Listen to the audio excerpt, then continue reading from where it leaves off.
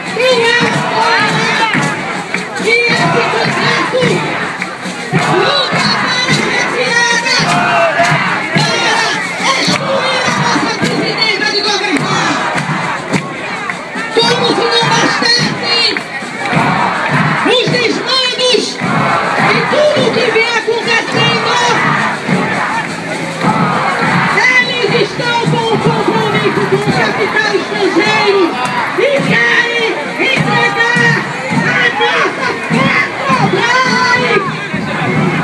É isso que eles querem.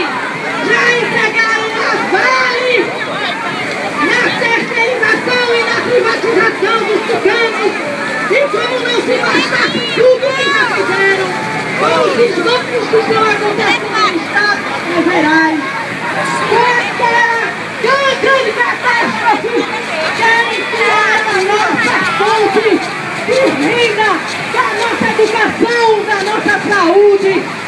Ready?